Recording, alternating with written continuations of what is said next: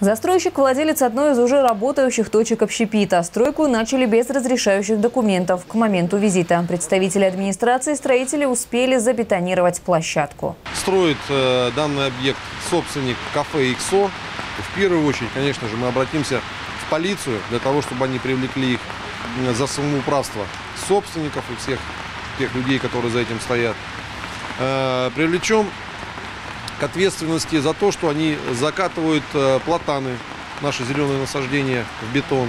В данный момент стройка заморожена. Администрация города собирается подать иски в суд на владельца кафе о сносе незаконного строения и расторжении договора аренды.